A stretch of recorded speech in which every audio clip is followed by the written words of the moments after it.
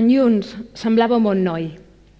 Es marejava quan veia sang, ajudava el veí amb caïda de rodes a pujar l'escala i, sobretot, quan dos amics es barallaven, era el primer a separar-los. En Lluns va estudiar un cicle mitjà de mecànica i electromecànica i aviat va trobar feina. La psicòloga, que va seleccionar el seu currículum, assegura que era impecable. Qui és en Lluns? O més ben dit, qui era? En Lluns era el jove de 22 anys que va atropellar mortalment a 14 persones, entre homes, dones i nens, a les Rambles de Barcelona. Encara ara, gairebé nou mesos després, hi ha desenes, m'atreviria a dir que centenars de persones amb seqüeles psíquiques. Què li va passar pel cap aquell 17 d'agost amb en Lluns? Què és el que el va convertir en un terrorista? La Yolanda de Ripoll fa uns dies m'explicava que aquell 17 d'agost estava a les Rambles amb els seus fills petits i la seva mare. Té gravada a la retina la imatge d'en Lluns, agafant amb força el volant, tirant l'esquena enrere i accelerant al màxim. A Ripoll són poc més de 12.000 habitants. Tots es coneixen. Poques hores després apareixia als mitjans de comunicació de tot el món no la imatge d'en Lluns, sinó la d'Andrins. En aquell moment ignoràvem que poques hores d'aquí a Cambrils hi hauria un altre atac terrorista.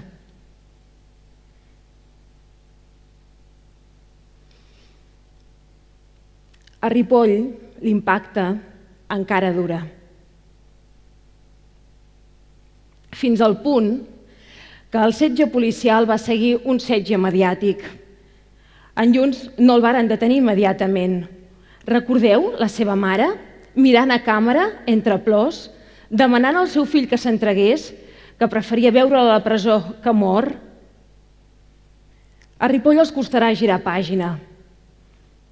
Fa uns dies un pare, el pare d'un nen que va morir a les Rambles, de 3 anys, recordava també el dol dels familiars dels autors materials dels atemptats.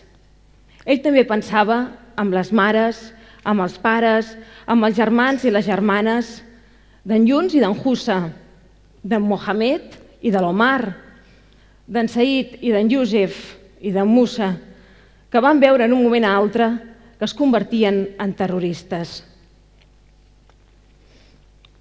Vèncer el terrorisme implica, sobretot, entendre'l.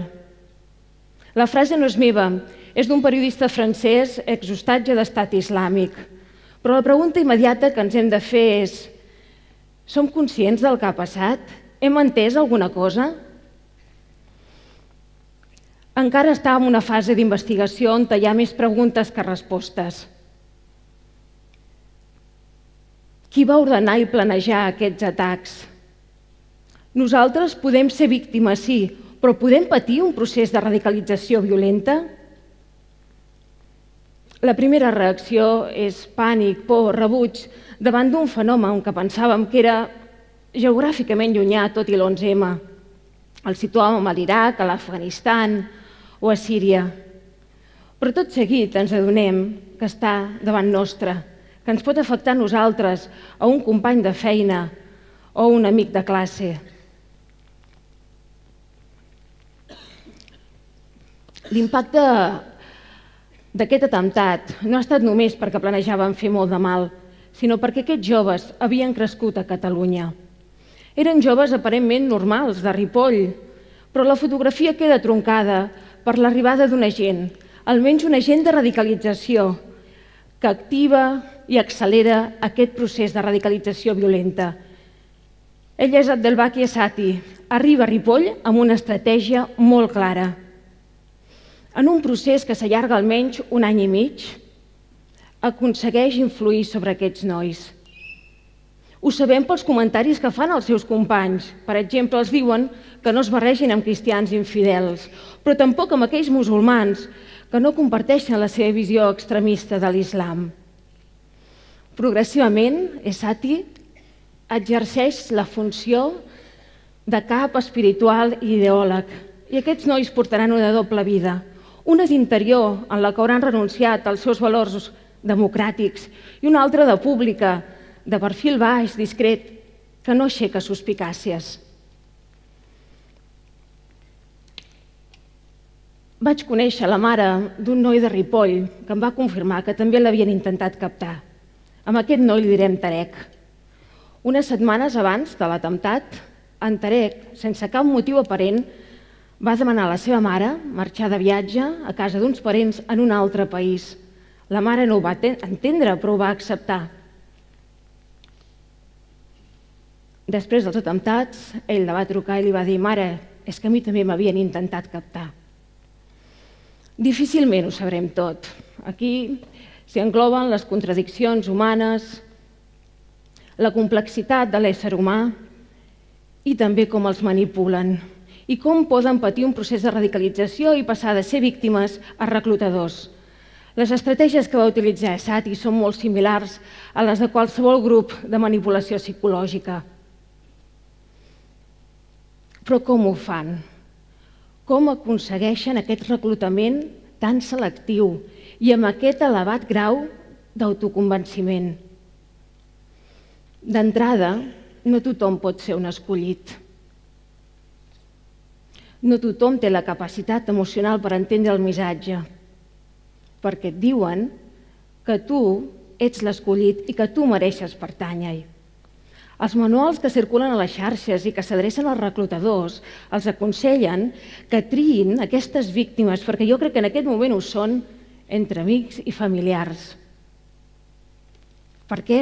Doncs per estrènyer més els vincles de lleialtat i de fidelitat. Això Ripoll es compleix al peu de la lletra. Són parelles de germans, la majoria han crescut junts al mateix barri i la majoria provenen del mateix poble del Marroc. Fixeu-vos-hi, els arguments que escullen per reclutar aquests nois són ordenats, clars, amb una argumentació precisa, que fins i tot nosaltres en alguns moments hi podríem estar d'acord. No els hi fan grans discursos dels grans líders d'estat islàmic o del Qaeda, que serien feixucs i que més requeririen certs coneixements religiosos, sinó tot el contrari, el consum de videojocs i de pel·lícules molt concretes, que individualment no tenen cap efecte, però que consumits de manera conjunta i intensiva poden causar una alteració emocional en aquella persona, fins al punt de tedir-se el seu discurs. Primer, els hi diuen que han de trencar amb els seus amics perquè els consideren impurs, que els professors no els entendran perquè formen part d'un complot en una societat excessivament materialista i plena de teories conspiratòries. Els pares tampoc els poden entendre perquè ells no són escollits. I aquí comencen una sèrie de fases, molt sutils. Sabem que alguns d'aquests nois explicaven a la seva mare la guerra de Síria i els hi deien que no podien entendre com germans musulmans estaven morint i els països no estaven fent res per evitar-ho. Aquesta és la primera fase, el captador intenta, sobretot, que la víctima que vol reclutar entengui que el musulmà se l'està humiliant. No és gaire difícil. Els nostres mitjans de comunicació occidentals ens han ensenyat les imatges de Bashar al-Assad, un dictador, gasejant la població civil. Una vegada el musulmà és la víctima, la segona fase és culpabilitzar de tots aquests mals a Occident i els governs europeus que no fan res per evitar-ho i miren cap a una altra banda. La tercera fase és justificar la violència i, finalment, ser un activista per a la causa. En aquest moment, aquell jove, aquella víctima, deixa de ser-ho, perquè comença a legitimar la violència. Potser recordareu el vídeo de centenars de combatents europeus que quan anaven a Síria cremaven el seu passaport perquè consideraven que la seva identitat ja era una altra. Això també ho van fer els joves de Ripoll a Riu de Canyes, on van cremar els seus documents de nacionals d'identitat i els seus passaports abans d'anar a fer l'atemptat a Cambrils. Per això deixeu-me insistir. Potser molts penseu que en algun moment podeu ser víctimes d'un atemptat, però és que també podeu ser víctimes inicialment d'un procés de radicalització violenta. Els experts d'Europa no coincideixen encara a afirmar quin és el perfil. No hi ha denominadors comuns, hi ha tantes casuístiques com persones. Sí que es veu clarament que hi ha alguns joves que tenen problemes identitaris. Potser són fills d'immigrants que no s'acaben de sentir del país d'acollida, però tampoc del país dels seus avis.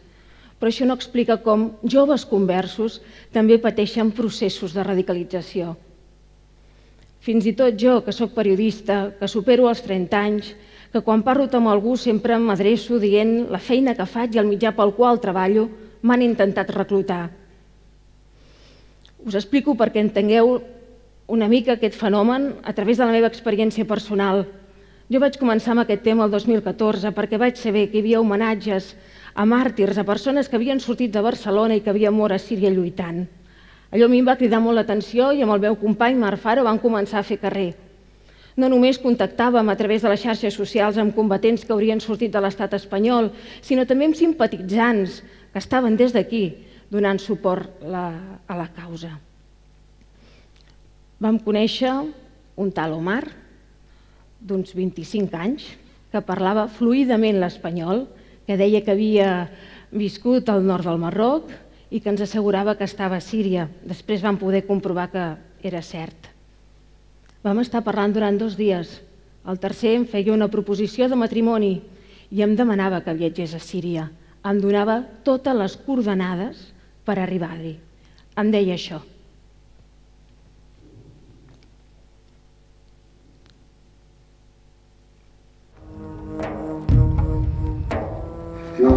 Quiere una mujer que sabe bien el Islam y estas, estas cosas. Pero como tú, si tú vas a entrar al Islam primero, yo voy a enseñarte todas las cosas del Islam. ¿Cómo se tiene que hacer? Pues tienes que, que cortar un billete para Estambul.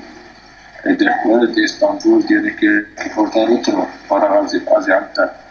Ahí te quedará en, en un hotel. ¿Y cuando esté en el hotel? Eso se llama Belkis. Belkis.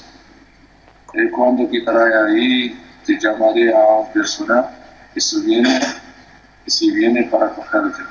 Después de, tres, de una hora, ya estás en Siria.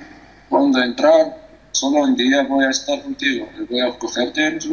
Ya está.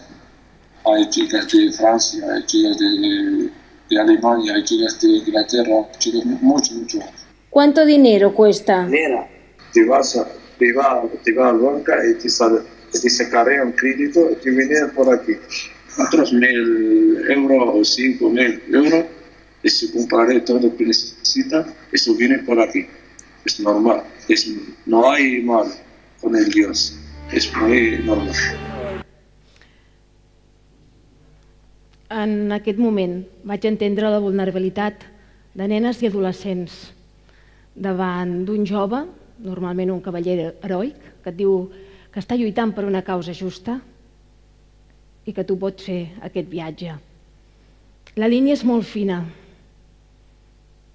Per això us dic que no ens podem convertir en espectadors passius, que ens hem d'implicar, pares, professors, joves, no n'hi ha prou d'entendre.